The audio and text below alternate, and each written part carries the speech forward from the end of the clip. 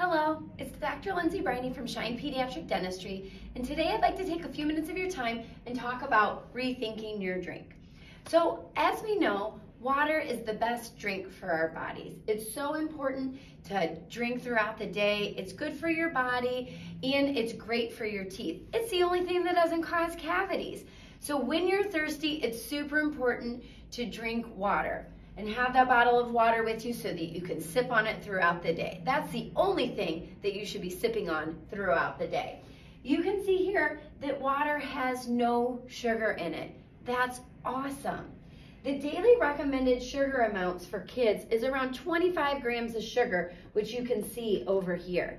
And what we can find out is that if we're drinking a sugary drink, wow, how easy is it to exceed that amount, okay? I mean, look at this big gulp, 134 grams of sugar. Look at all that sugar. You have one big gulp. I mean, that's more than you're supposed to have in like a whole week. So you have to think about if I want to eat some other sweet treats like ice cream. Remember, ice cream is better for your teeth than lots of other candies because it rinses from your mouth pretty fast. That and it's and it's part dairy, right? Um, but if you're gonna have that big gulp, you might as well forget about that ice cream. What would you rather have? A big old bowl of ice cream or just one drink? Now, size also matters. If you look here for the Slurpee, you, if you choose the smaller Slurpee, that is way less sugar. That gives you more opportunities other places.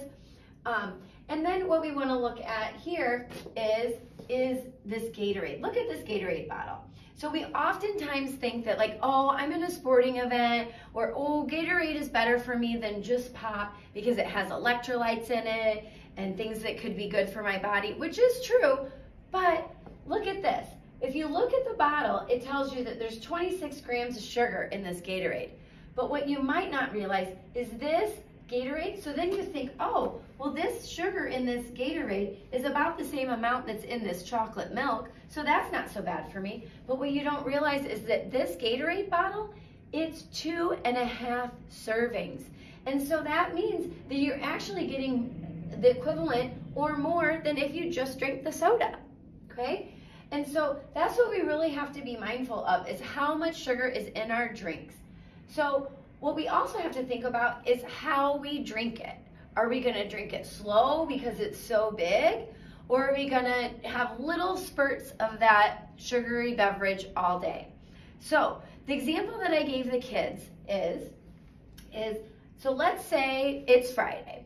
Everybody loves Fridays. Everybody loves special treats on Fridays. So mom sends you with the chocolate milk in your lunch bag at school. So you have this chocolate milk. Then you go and you finish your day and you drink from your water bottle and you're at school. And then after school, because it's Friday, you're gonna go with your friend and you're gonna go play at their house. And their mom is super cool. She's gonna give you a juice box to have with your snack. So you have, you sit down at the table, you have your snack and you have your juice box. Another, and maybe she even gave you this really fancy juice that has no added sugar, but it still has 36 grams of sugar in it from those natural sugars that are contained in fruits, okay? So you have that, and then you finish your snack, you maybe have some a little bit more water, and then you go and you go play some more. Your parents pick you up, and it's a fun night out for Friday night. You're gonna go out to dinner with them and your parents, once again, are feeling really, really nice that day because it's Friday and they're feeling pretty special. So they're going to let you get a small soda to, to drink with your dinner. So you have the small soda.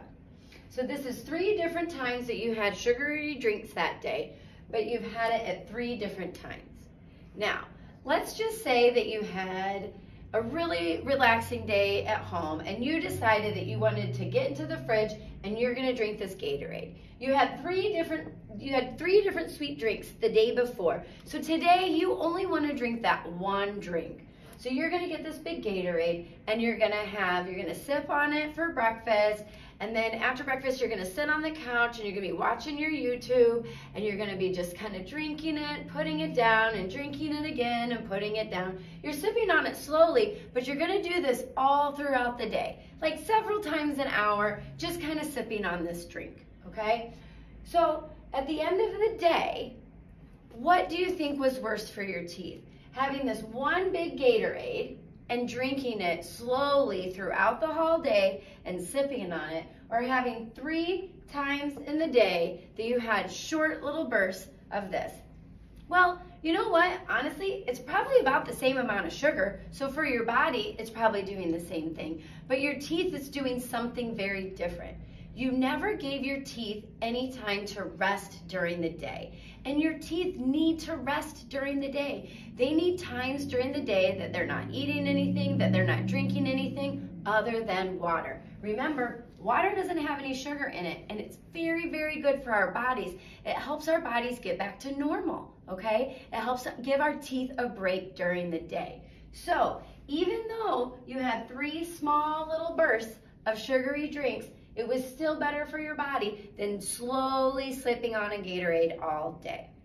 Now, is, but it, I would always say that it's definitely better to limit your sugary drinks to super special times, okay?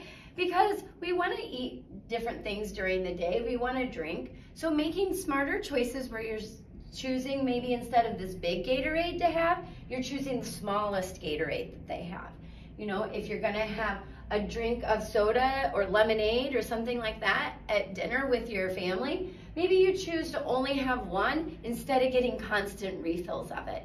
And most importantly, when you're done with that meal or a snack, you need to put those sugary drinks down, you need to grab your water bottle and drink from that. That's gonna help you rinse out any of the food that you had during that meal, and it'll also help your mouth get back to normal faster.